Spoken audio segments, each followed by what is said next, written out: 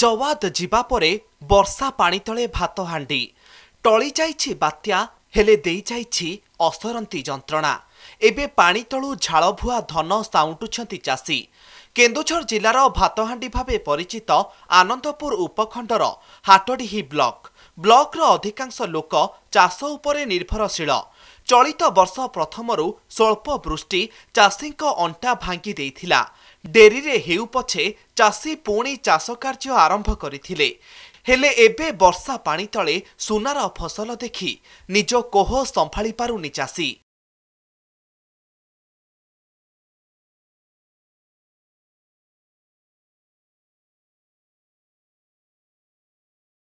ଆମେ ଚାଷ କରିଥିଲୁ ବହୁତ ଗୁଡ଼ାଏ ବିଲ।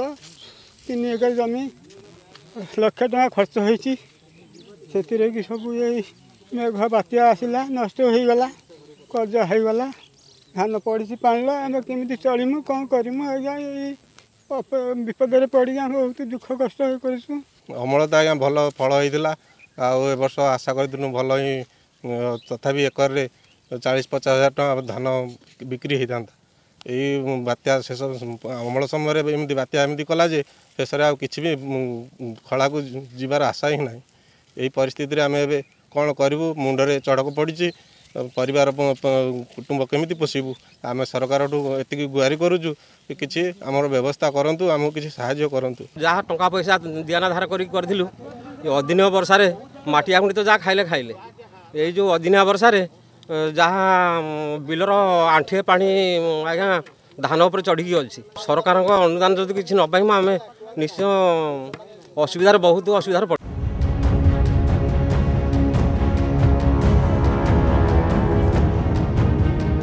ପ୍ରକୃତି ସହ ଋଣଭାର ଚିନ୍ତା ଚାଷୀଙ୍କ ଉପରେ ଭାରି ପଡ଼ିଛି। ଧାନ ଅମଳ ପରେ ଋଣ ଶୁଝିବା ପାଇଁ ଚାଷୀମାନେ ସ୍ଥିର କରିଥିଲେ।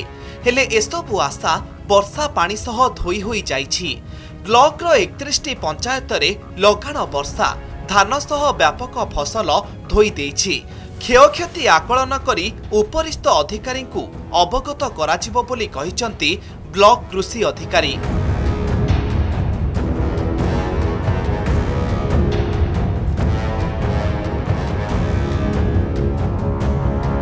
ଦିନ ହେଲା ଜବାଦ ବାତ୍ୟା ଆସିବା ପରେ ଦୁଇ ଦିନ ବର୍ଷା ହେଲା ପରେ ମୋର ସମ୍ପୂର୍ଣ୍ଣ ଆଣ୍ଠିଏ ଆଣ୍ଠିଏ ବିଲରେ ଆଣ୍ଠିଏ ଆଣ୍ଠିଏ ପାଣି ସମ୍ପୂର୍ଣ୍ଣ ଚା- ଚାଷ ନଷ୍ଟ ହେଇଯାଇଛି। ଯାହା ଚକଡ଼ ପକା ଲାଗିଥିଲେ ଯାହା ଟିକେ ଭାବିଥିଲୁ ଆଶା କରିଥିଲୁ ଅ, ଧାନ କିଛି ପାଇବୁ ବୋଲିକି ଷାଠିଏ ହଜାର ଟଙ୍କା ଖର୍ଚ୍ଚ କରି କୀଟନାଶକ ଦେଇ କିନ୍ତୁ ଏବେ ଯାହା ଅଛି ପାଣି ଉପରେ ଧାନ ଉପରେ ଆଣ୍ଠିଏ ଆଣ୍ଠିଏ ପାଣି। ଏବେ ସମ୍ପୂର୍ଣ୍ଣ ଚାଷ ଆଉ ଚାଷ ଉପରେ ଭରସା ନାହିଁ। ଧାନ କଟା ଯେହେତୁ ଏପର୍ଯ୍ୟନ୍ତ ବହୁତ କମ୍ କାଁ ଭାଁ ହେଇଛି ଏ ଅଞ୍ଚଳରେ ଯେଉଁମାନେ ପନିପରିବା ଚାଷ କରୁଛନ୍ତି ସେମାନେ ଛୋଟ ଧାନ କରିଥିଲେ କରିକି କରିଛନ୍ତି। ତ ଯେହେତୁ ଆମର ଏ ବର୍ଷ ବର୍ଷା ଲେଟ୍ରେ ହେଇଥିଲା ରୁଆ କାମ ମଧ୍ୟ ଲେଟ୍ରେ ହେଇଥିଲା। ବ୍ଲକର ଭିଏଡବ୍ଲ୍ୟୁ ସବୁ ସବୁ ଜିପିକୁ ଯାଇକି ଆମର ଅନୁଧ୍ୟାନ କରୁଛନ୍ତି। ଧାନ ଏଇ ବର୍ଷାରେ ପଡ଼ିଯାଇଛି ଶୋଇଯାଇଛି ଆଉ କିଛି ପାଣିରେ ବି ଉ, ବୁଡ଼ି ନ ବୁଡ଼ିଲେ ବି ଭିଜିକି ରହିଛି। ଚାଷୀମାନଙ୍କ ବି ଅନୁରୋଧ ସେମାନେ ପାଣି କାଟିବା ସୁବିଧା ଥିଲେ। ଚେଷ୍ଟା କରନ୍ତୁ ପାଣି କାଟି ଦିଅନ୍ତୁ।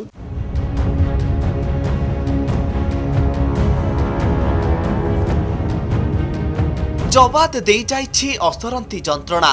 ପ୍ରକୃତିର କୋପ ଅନ୍ନଦାତାଙ୍କ ଉପରେ ଦାଉ ସାଧିଛି। ଅମଳ ଅପେକ୍ଷାରେ ଥିବା ଧାନ ବିଲରେ ଜମିଛି ଆଣ୍ଠୁଏ ଆଣ୍ଠୁଏ ପାଣି।